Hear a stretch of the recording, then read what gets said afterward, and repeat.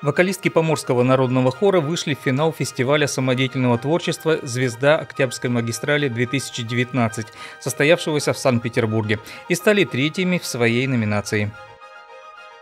Лучшим электромонтером Северо-Запада по версии Россетей стал работник Карелэнерго Владимир Разумов из Сартовалы. На соревнованиях в Вологде карельское предприятие представляли пятеро сартовальцев.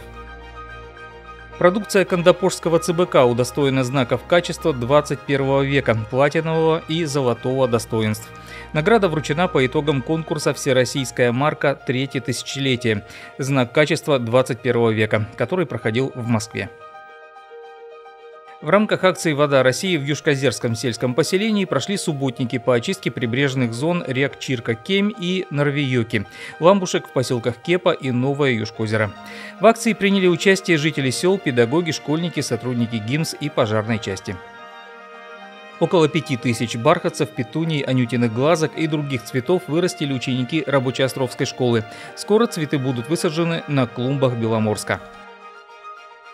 На улице Юбилейной в Туксе появилась новая детская площадка. Она установлена в рамках программы «Комфортная городская среда». Стоимость проекта составила более полутора миллионов рублей.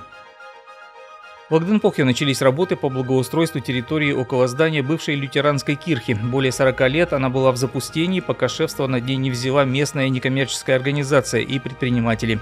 Теперь здесь проведут благоустройство, сделают подсветку здания, а затем на основе старых финских чертежей восстановят крышу и колокольню.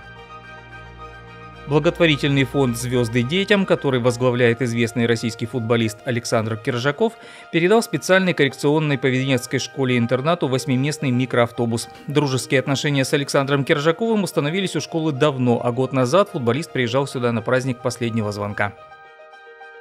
Почти месяц назад на улице в поселке Вокнаволок образовалась яма глубиной более полутора метров.